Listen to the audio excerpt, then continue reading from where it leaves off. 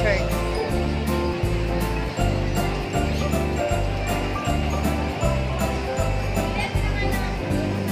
Wala ako kasama, mag-isa lang pumunta dito.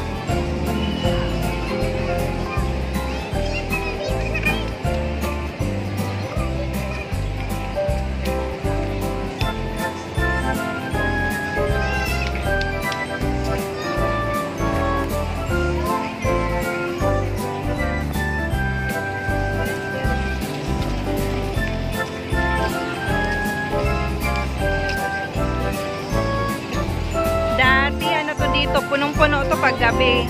Ngayon andyan na sa gilid-gilid na sila.